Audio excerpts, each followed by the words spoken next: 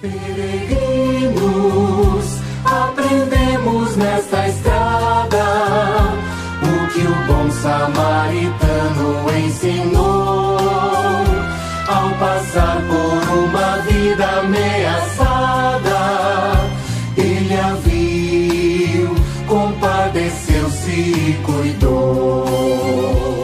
Olá, ouvintes da Rádio Catedral de Moriaé, na zona da Mata Mineira. Olá, Frei Gilberto Teixeira e sua equipe que produz e apresenta o programa Bom Dia, Mãe Terra. Quem está falando aqui é Frei Gilvander Moreira, da Comissão Pastoral da Terra, das Comunidades Eclesiais de Base e do Centro Ecumênico de Estudos Bíblicos, o CEBI.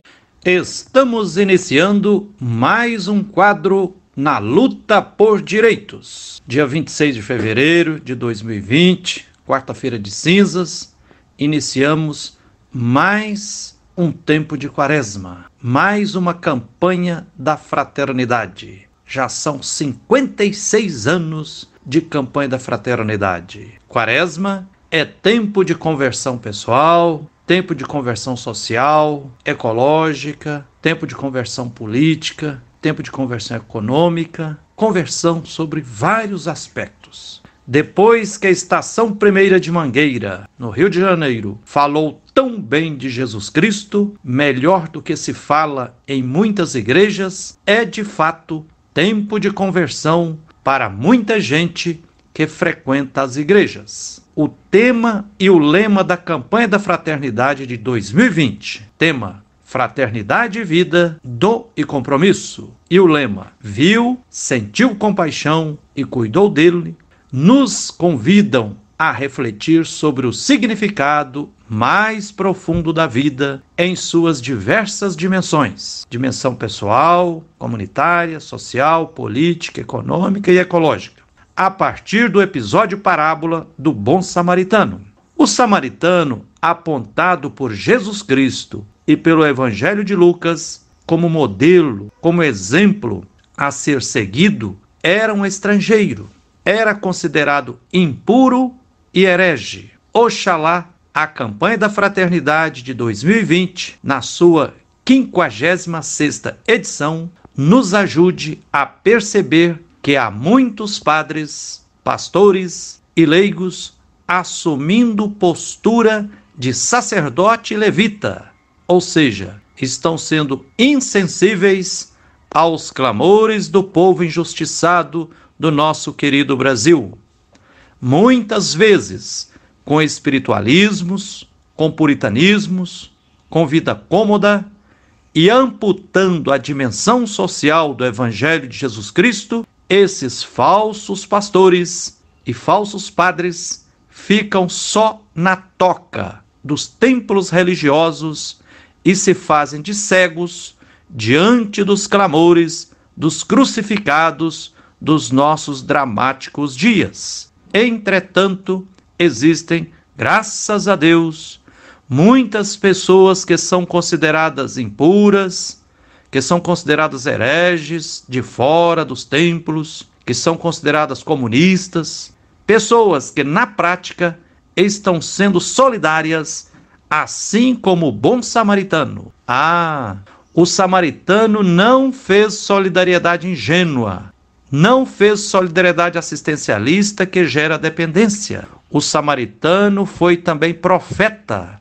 porque exercitou um tipo de solidariedade que deixou brasas sobre a cabeça dos sacerdotes, dos levitas, dos escribas, doutores da lei e provavelmente deixou brasa sobre a cabeça dos chefes dos podres poderes políticos, econômicos e religiosos da época. A estação primeira de Mangueira, na noite de 23 para 24 de fevereiro último, 2020, no Sambódromo da Marquês de Sapucaí, no Rio de Janeiro, fez um desfile histórico e deu uma aula magna de teologia por meio do samba enredo, pelas fantasias, pela arte, ritmo, coreografias e etc.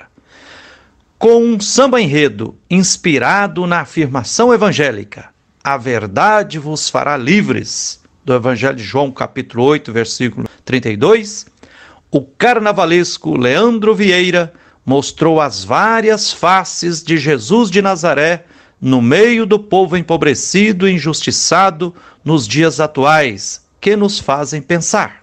Mostrou Jesus com rosto de mulher, Jesus com rosto de índio, de jovem da periferia, Jesus com rosto de negro, Jesus com rosto de pessoas homossexuais. Estas várias faces de Jesus estão em estreita sintonia com o Evangelho de Jesus Cristo. No Evangelho de Mateus, por exemplo, em Mateus capítulo 25, versículos de 31 a 46, se narra uma cena de juízo final, que em última instância acontece por auto julgamento. Todos os povos estão reunidos diante de Jesus. Ninguém é excluído a prior. Como Deus é amor, Todos são bem-vindos e bem-vindas, desde que tenham posto em prática relações sociais, relações humanas de fraternidade, de ética, de justiça e solidariedade com quem estava com fome, com sede, nu, exilado, sendo estrangeiro, doente e preso. A quem estranha a relação de Jesus com os enfraquecidos, Jesus adverte: Todas as vezes que vocês se fizeram solidários ao menor dos meus irmãos, foi a mim que fizeram. Além de que todos os seres humanos são imagem e semelhança do Deus Criador. E o corpo de cada pessoa é templo do Espírito Santo. É sagrado e, como tal, deve ser respeitado, cuidado e amado. Portanto, quando uma pessoa negra, um índio, uma mulher, um jovem de periferia, uma pessoa LGBT, um irmão em situação de rua, desempregado, sem terra, sem moradia, está sendo discriminado ou discriminada, violentado ou violentada, torturado e morto, é Jesus Cristo que está novamente sendo crucificado nos dias atuais. Com ousadia profética, o samba enredo da Mangueira afirma um Jesus da gente com espiritualidade libertadora e aponta verdades que podem nos inspirar rumo à emancipação humana. Destaco aqui aos raios de luz do samba enredo. Diz o samba enredo: só ame, não seja intolerante, não seja homofóbico e nem disseminador de ódio. Diz o samba enredo: teu samba é uma reza. Ou seja, o divino está no humano, o sagrado está no profano. Em estilos religiosos fundamentalistas e moralistas estão mais idolatria do que culto verdadeiro a Deus. Diz também o samba enredo da Mangueira: enxugo o suor de quem sobe e desce ladeira. Ou seja, esta afirmação está em profunda consonância com a opção pelos pobres que deve atravessar todas as nossas estruturas e prioridades pastorais, conforme os documentos das conferências episcopais da América Latina, de Medellín, de Puebla, de Santo Domingo e de Aparecida, prescrevem. Sendo filho de carpinteiro e de mulher simples do meio do povo, Jesus abraça as alegrias e as dores do povo como suas alegrias e suas dores. Isto se espera de quem se diz seguidor ou seguidora de Jesus Cristo. Jesus vivo ressuscitado está presente no meio da classe trabalhadora, consolando as pessoas aflitas e afligindo as pessoas opressoras. Diz também o samba enredo da Mangueira: Me encontro no amor que não encontra fronteira. Quer dizer, o nosso amor precisa ultrapassar o jeito de amar de moralistas e fundamentalistas. Devemos amar a todos, mas não do mesmo jeito. Devemos amar as pessoas injustiçadas, nos colocando ao lado delas, para com elas e a partir delas caminhar solidariamente, lutando pelos seus direitos. E devemos amar os inimigos, os opressores do povo, fazendo o possível e o impossível para retirar das mãos deles as armas com as quais promovem violência e injustiça. Diz o samba enredo da Mangueira: procura por mim nas fileiras contra a opressão. Isto mesmo. Jesus Cristo está muito mais no meio do povo sofrido, injustiçado, do que nos templos e cultos religiosos desligados da vida real do povo, onde mais se furta dinheiro do povo com discursos de autoajuda e teologia da prosperidade. Diz o samba enredo da Mangueira: a esperança brilha mais na escuridão. Realmente, no meio de uma noite escura, é possível luz brilhar mais do que o sol do meio-dia. Quanto mais os violentos insistem em violentar os enfraquecidos, mais se alimenta o movimento popular de luta para construir paz como fruto de justiça social, justiça agrária e justiça socioambiental. Diz o samba enredo da Mangueira: não tem futuro sem partilha, nem Messias de arma na mão. Eis mais uma verdade que liberta. O sistema capitalista é uma máquina de moer vidas, porque pisoteia cotidianamente na partilha como estilo de vida, insufla a acumulação e a competição como se fossem valores, mas na realidade são vírus que desumanizam quem se deixa desorientar pelo individualismo e pela idolatria do mercado. Jesus de Nazaré propôs: Amai-vos uns aos outros como eu vos amo, e jamais armai-vos uns aos outros. Quem acredita em arma não acredita no poder infinito do amor.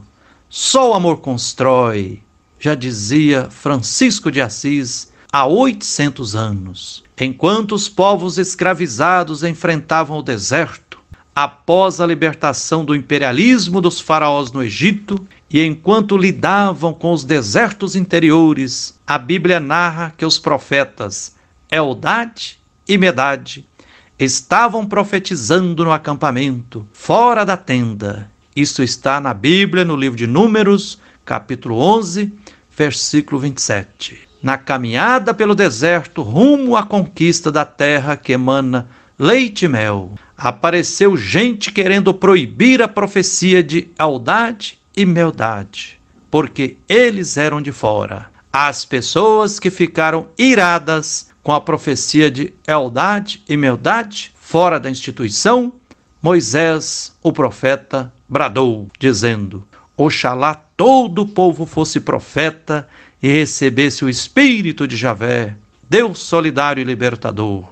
Evelyn Bastos, a sambista rainha de bateria da Estação Primeira de Mangueira, que representou Jesus como mulher negra, com as feridas que uma sociedade capitalista com desigualdade social e violência institucionalizada impõe também às mulheres, o feminicídio, por exemplo, ela, Evelyn Bastos, disse após se apresentar na Sapucaí: Renunciei ao que mais amo, que é sambar, para apresentar Jesus, mulher que só ama. Por respeito às pessoas que pensam diferente, também me apresentei sem expor o corpo. Evelyn Bastos perguntou: se tivessem nos ensinado que Jesus também poderia ser mulher, o Brasil estaria no topo do feminicídio? E exortou profeticamente: que todos os olhos possam acolher todas as imagens de Jesus, porque Ele está no meio de nós. Que beleza profética, amorosa e respeitosa. Eu, Frei Gilvander, vi Jesus na estação primeira de Mangueira. A quem se escandaliza com o Jesus da gente da estação primeira de Mangueira, pergunto: por que se tornou normal a imagem de Jesus Cristo como um europeu branco de olhos azuis? Se você não assistiu, sugiro assistir sem preconceitos, de coração acolhedor, ao vídeo do desfile da Estação Primeira de Mangueira, que está disponibilizado no YouTube e você se humanizará com a mensagem libertadora que a Estação Primeira de Mangueira trouxe para o Carnaval de 2020. Com a direção nacional do Centro Ecumênico de Estudos Bíblicos, afirmamos: a Mangueira, com ousadia, provoca e desestabiliza profeticamente muitos que, desde os altares e púlpitos, se calam diante das ações de uma política podre e destruidora. Outros tomam o púlpito e os altares para defender o que não é o Evangelho de Jesus Cristo. Só ame, anuncia Mangueira. Santo Agostinho dizia: ame e seja livre para fazer o que quiser. É isso aí, ouvintes do programa Bom Dia Mãe Terra, na grande Rádio Catedral de Moriaé, na zona da Mata Mineira. Fiquem com a benção do Deus da vida, que a luz e a força divina continuem nos inspirando e nos guiando na luta por direitos. Fiquem também com um abraço terno de Frei Gilvander Moreira. E até o próximo quadro Na Luta por Direitos. Entre nós está não o conhecemos, entre nós está, e nós o desprezamos, entre nós está.